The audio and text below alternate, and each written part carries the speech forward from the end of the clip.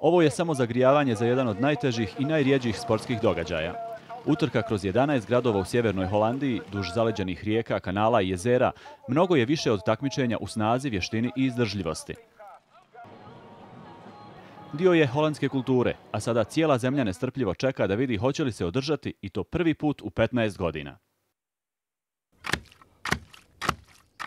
Na stazi dugoj 200 km led mora biti debeo najmanje 15 cm kako bi izdržao 16.000 klizača. Nije ni čudo da se utrka održala samo 15 puta od 1909. godine. Šanse da se utrka održi nakon vikenda su 75%, možda u ponedjeljak ili utorak, ali temperature moraju ostati ispod nule. Rekord na stazi iznosi 6 sati i 47 minuta. Pobjednik ove legendarne utrke postaje nacionalni heroj i stiče gotovo mitsku reputaciju. Posljednji pobjednik bio je Henk Angenant 1997. godine. I on se nada da se vrijeme neće promijeniti. Ovo je najveća trka u Holandiji, možda i na svetu. Sjajan je osjećaj pobediti. Svakog dana razmišljam o tome.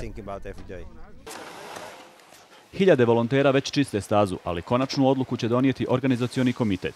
Neki političari već pokušavaju iskoristiti pozitivnu atmosferu u zemlji i traže da se, u slučaju održavanja utrke, dan proglasi državnim praznikom. Loris Zubanović, Al Jazeera.